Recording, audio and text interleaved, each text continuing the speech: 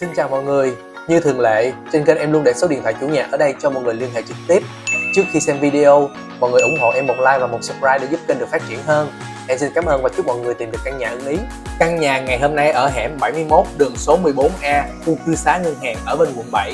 Một số tiện ích xung quanh nhà như là chợ trái cây thuyền chở từ miền Tây lên, trường tiểu học Đặng Thị Trâm, cây xăng Sài Gòn Petro, nhà thuốc Tây, nhà khoa Bảo Nam, cửa hàng thực phẩm Kiên Phúc Mart, cửa hàng điện máy xanh và thế giới di động, nhà thuốc Pharma City, cửa hàng tiện lợi Cycle K, trường trung học Nguyễn Hữu Thọ, siêu thị Mini Cup Food, nhà thuốc Long Châu, cửa hàng Bách Hóa Xanh. Mọi người đi thẳng vào hẻm 71 khoảng vài chục mét đến cuối đường, xong quẹo tay phải sẽ thấy được căn nhà.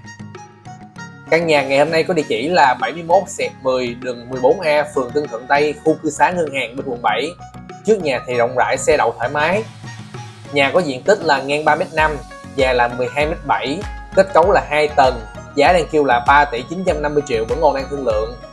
Nhà đang có hợp đồng thuê là 8 triệu 3 một tháng. Còn bây giờ thì em mời mọi người xem nhà.